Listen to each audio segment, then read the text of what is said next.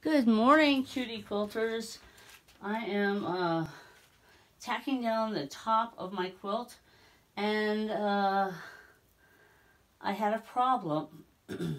I was using my micro stitch all over, which is great.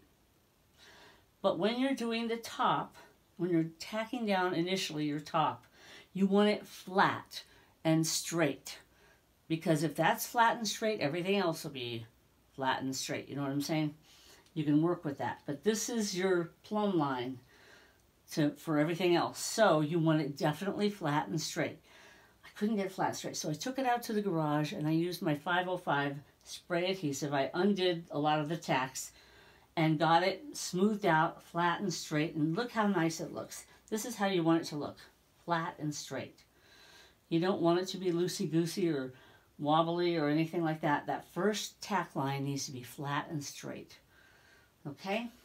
And I had to also make sure that I had enough batting, that I wasn't screwing it up because it was a little finessing, you know, on this side